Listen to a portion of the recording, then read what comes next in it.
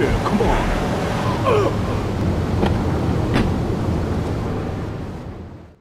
You know, Toni, I've tuned her real sweet.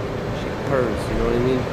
Oh, here's the guy I was telling you about. All right, listen, this guy he ain't Italian and he's no mechanic, but he could get things fixed.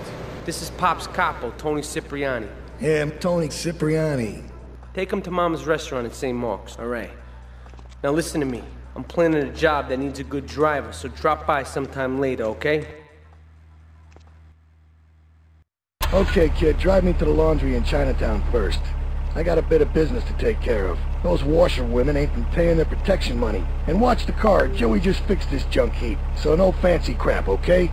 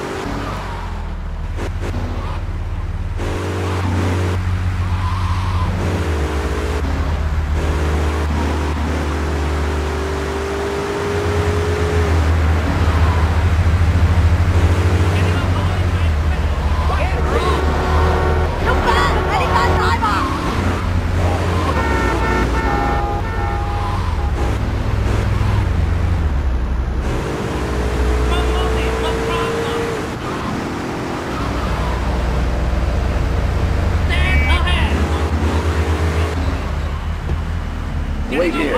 Keep the engine running. This ain't a social call.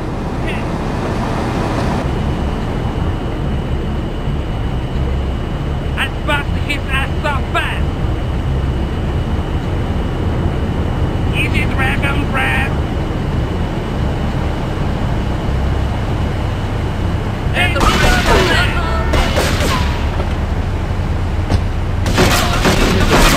ambush! Get us out of here, kid!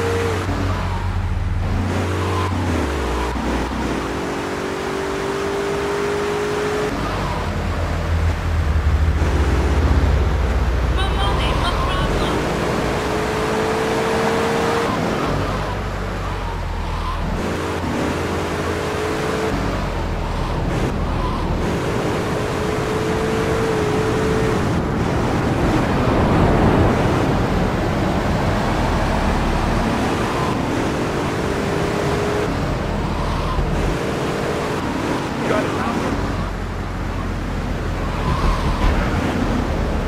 Triads think they can mess with me. The Triads. With me. Drop by later and give them something launder. Their own blood-stained clothes.